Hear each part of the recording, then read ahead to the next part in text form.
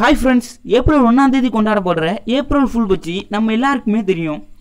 இந்த ஏப்ரல் ஃபுல்லை நம்ம ஃப்ரெண்ட்ஸ் நமக்கு தெரிஞ்சவங்களை ஏமாற்றி ரொம்ப ஜாலியாக கொண்டாடுவோம். இந்த ஏப்ரல் ஃபுல் எப்படி உருவானது அப்படிங்கிறது உங்களுக்கு தெரியுமா?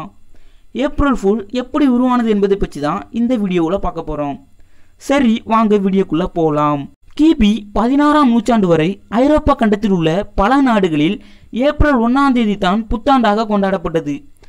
ஆனால் இப்போது நாம் ஜனவரி முதல் நாளைத்தான் புத்தாண்டாக கொண்டாடுகிறோம். அப்போதைய ஜூலியன் கேலண்டரில் ஏப்ரல் முதல் நாள் தான் புத்தாண்டாக சொல்லப்பட்டிருந்தது. ஆயிரத்தி ஐநூற்றி எண்பத்தி ரெண்டாம் ஆண்டு பிப்ரவரி இருபத்தி ஒன்பதாம் தேதி புதிய கேலண்டரை பதிமூணாம் கிரிகோரி என்ற போப்பாண்டவர் அறிமுகப்படுத்தினார். இதைத்தான் கிரிகோரியன் கேலண்டர் என்று சொல்கிறோம் இந்த கேலண்டரில் ஜனவரி ஒன்றாம் தேதி புத்தாண்டாக குறிப்பிடப்பட்டிருந்தது. இதை பல நாட்டு மக்களும் ஏற்க மறுத்தார்கள். அப்படி ஏற்க மறுத்தவர்கள் ஏப்ரல் முதல் நாளையே புத்தாண்டாக கொண்டாடினார்கள். ஜனவரி முதல் நாளை புத்தாண்டாக ஏற்றுக்கொண்டவர்கள் புத்தாண்டை ஏற்றுக்கொள்ளாதவர்களை ஏமாற்ற நினைத்தார்கள்.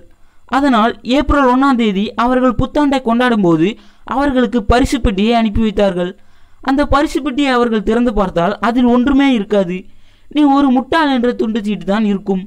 அதேபோல் சட்டையின் பின்னால் நான் ஒரு முட்டாள் என்ற துண்டு சீட்டை ஒட்டி கேலி பேசினார்கள். பிரான்ஸ் நாட்டில்தான் முதன் முதலில் இப்படி முட்டாள் தினத்தை கொண்டாடியதாக சொல்கிறார்கள். பின்னர் படிப்படியாக எல்லா நாடுகளும் புதிய கலண்டரை ஏற்றுக்கொண்டன. தொடக்கத்தில் புதிய கலண்டரை அப்படி ஏற்றுக்கொள்ளாத நாடுகள் ஏற்றுக்கொள்ளாதவர்கள் கொண்டாடும் புத்தாண்டு தினத்தை முட்டாள்கள் தினம் என அழைத்தார்கள். இப்படித்தான் முட்டாள்கள் தினம் அறிமுகமானது.